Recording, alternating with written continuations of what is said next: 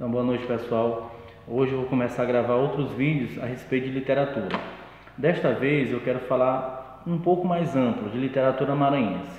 É, Para estrear com esse novo know-how de livros, é, ainda lembrando que eu vou concluir ainda aquela gama de informações sobre os autores itapecurenses, mas agora um âmbito mais geral do Maranhão, eu queria iniciar com esta obra do meu eterno professor Neurivan Souza. Né? Neurivan Souza é natural de Magalhães de Almeida, mas é erradicado em Santa Rita. Foi meu professor na rede pública do município de Santa Rita, também é professor atualmente ainda da rede pública e da rede privada lá do mesmo município.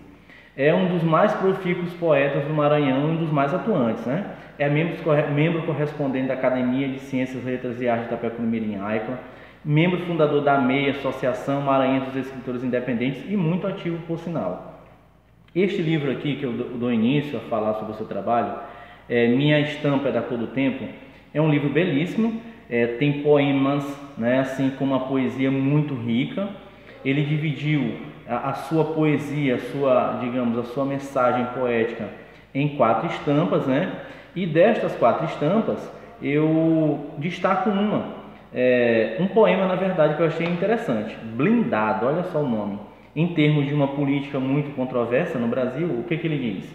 Mil cairão pró-esquerda, dez mil cairão pró-direita, mas eu não serei político, né? Então, para um professor é, consciente do seu papel como formador, olha como é profundo essa mensagem do professor Neurivan Souza, muito profundo mesmo.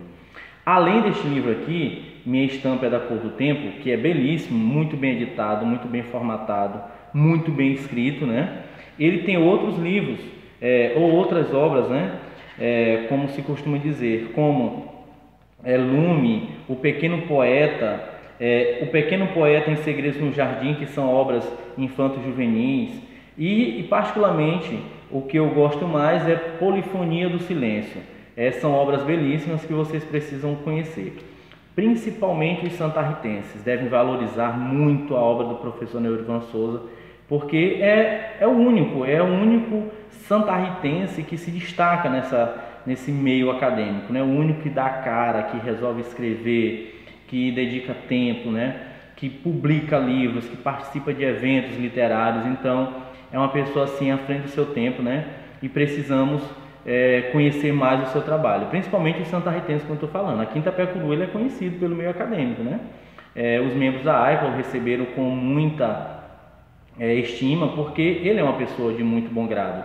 Então, dedico este vídeo ao meu eterno professor Neurivan Souza e conheçam esse livro, né?